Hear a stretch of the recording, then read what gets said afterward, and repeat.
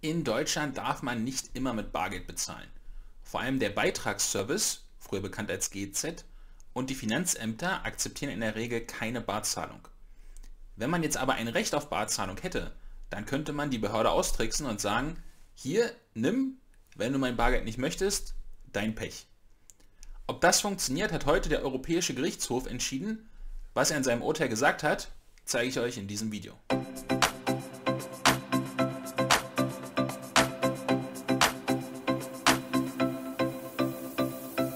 Moin zusammen und herzlich willkommen. Ich bin Matthias von der Steuerkanzlei TXT und heute Morgen hat der EuGH den lang andauernden Bargeldstreit entschieden. Worum ging es in dem Fall? Schauen wir doch direkt mal rein. Wir sehen hier Urteil des Gerichtshofs vom 26. Januar über eine Klage der Herren Dietrich und Hering. Der Herr Hering ist ein durchaus bekannter Journalist. Seinen Blog verlinke ich euch unten in der Videobeschreibung und der hatte versucht, seinen Rundfunkbeitrag in Bar zu zahlen. Das hat der Beitragsservice abgelehnt, dann hat Hering dagegen Rechtsmittel eingelegt, hat in allen Instanzen verloren, bis vor einiger Zeit das Bundesverwaltungsgericht dann beschlossen hat, den EuGH zu befragen, ob es tatsächlich zulässig ist, dass eine Behörde Bargeld ablehnt. Ich persönlich war von dieser Entscheidung damals etwas überrascht, denn wir hatten die ganze Thematik schon mal im Zusammenhang mit Steuerschulden. Da hatte ein Steuerzahler versucht, seine Steuerschulden in Bar auszugleichen. Das hatte das Finanzamt abgelehnt und über den Streit musste dann das hessische Finanzgericht entscheiden. Haben wir hier Urteil Ende 2017 bekommen. Ich persönlich kann nicht so richtig nachvollziehen, warum jemand so einen großen Wert darauf legt, öffentliche Abgaben in Bar zu bezahlen. Die Kläger bringen hier insbesondere so Argumente hervor wie finanzielle Privatsphäre, Datenschutz etc. Ich persönlich fühle das nicht. Ich habe eher eine andere Vermutung, denn wenn ich einer Behörde Bargeld anbiete und die das ablehnt, dann gelange ich als Schuldner selbst nicht in Verzug. Das heißt, die Behörde kann, wenn sie das Bargeld ablehnt, ich aber ein Recht auf Barzahlung habe, dann kann die Behörde mir keine Mahnkosten auferlegen oder Säumniszuschläge oder ähnliches. Ich vermute, da liegt eher der Ursprung dieser Bestrebungen der Kläger. Jedenfalls hatte damals schon das Finanzgericht entschieden, äh, nein, es ist nicht notwendig, dass das Finanzamt Barzahlungen anbietet.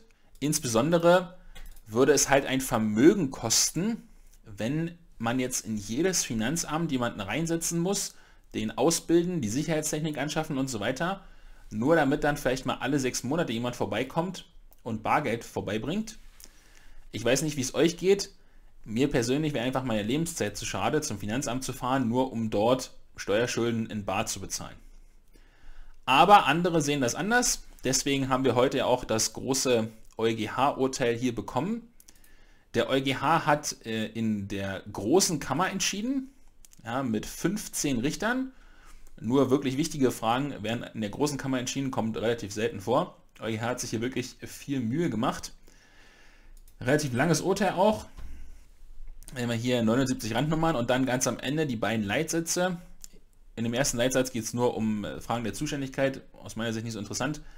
Die zweite Frage ist hier die inhaltlich entscheidende und da sagt der EuGH, also eine Bestimmung, die Barzahlung ausschließt, steht dem europäischen Recht nicht entgegen, vorausgesetzt, und dann hier erstens, zweitens, drittens, viertens, fünftens, nennt ein paar Voraussetzungen, muss insbesondere verhältnismäßig sein und so weiter.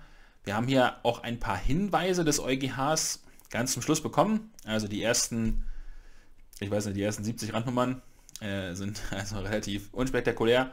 Und dann geht es hier zum Ende hin los. Insbesondere beruft sich der Beitragsservice darauf, dass halt eine unglaublich große Vielzahl von Leuten betroffen wäre, wenn man sich jetzt auf Barzahlung einrichten müsste.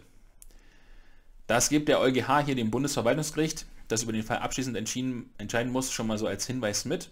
Ich persönlich gehe auch davon aus, solche bundesgerichtlichen Entscheidungen sind eher konservativ. Ich war damals schon überrascht, dass man überhaupt diese Vorlage hier in Erwägung gezogen hat.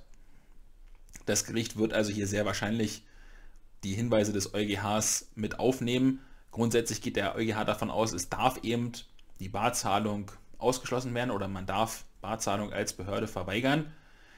Insbesondere mit Blick so auf die Kosten, denn es würde natürlich für alle teurer werden, wenn man jetzt, wenn die Behörden verpflichtet werden, Barzahlungen zu ermöglichen. Ne? Personal, Sicherheitstechnik und so weiter. Zudem stehen ja auch andere Zahlungsmethoden zur Verfügung. Ja, man kann äh, alle möglichen Arten per Bank zahlen, das ist gar kein Problem. Eine Ausnahme müsste man nur machen für diejenigen, die keinen Zugang zu einem Bankkonto haben. Sehen wir hier, also wer kein Bankkonto hat, den kann man nicht zwingend verpflichten, auch per Bank zu bezahlen. In Deutschland gibt es inzwischen auch ein Recht auf ein Bankkonto. Das muss man hier vielleicht auch noch mit berücksichtigen. Ich gehe auch davon aus, das wird nur relativ wenige Leute betreffen, die so tatsächlich überhaupt kein Bankkonto verfügen. Denjenigen müsste man dann vielleicht ermöglichen, bar zu zahlen. Die Kläger haben dann hier noch vorgebracht, ja, man könnte unter Umständen auch noch einen Dienstleister beauftragen, der die Barzahlung abwickelt. Ich kann mir aber beim besten Willen nicht vorstellen, dass das Bundesverwaltungsgericht hier solche progressiven Vorschläge aufnimmt. Deswegen tendenziell aus meiner Sicht ist damit zu rechnen, dass also hier bestätigt wird, dass keine Verpflichtung besteht, für eine Behörde Bargeld anzunehmen. Wenn man jetzt trotzdem Bar zahlen möchte, wie kann man das am besten erreichen? Ja, was immer funktioniert ist, in einer Filiale der Bundesbank kann man Schulden oder kann man auf Schulden stets Bargeld einzahlen. Kostet mein letzter Stand 3 Euro. Allerdings gibt es auch nur 35 Filialen der Bundesbank, im Zweifel also ein relativ weiter Anfahrtsweg. Man kann allerdings auch immer mal bei der jeweiligen Behörde nachfragen. Soweit ich weiß, manche Finanzämter und auch teilweise der Beitragsservice, je nachdem welche Bundesländer, akzeptieren auch Bargeld.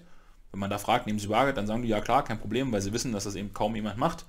Wer da also Interesse hat, der kann das auf jeden Fall versuchen. Ja, dann hoffe ich, ähm, die Hinweise haben euch gefallen. Wie seht ihr das? Würdet ihr gerne auch eure Steuerschulden, euren Rundfunkbeitrag in Bar zahlen? Schreibt es gerne in die Kommentare. Und wenn euch das Video gefallen hat, lasst immer ein Like und ein Abo da. Bis zum nächsten Mal.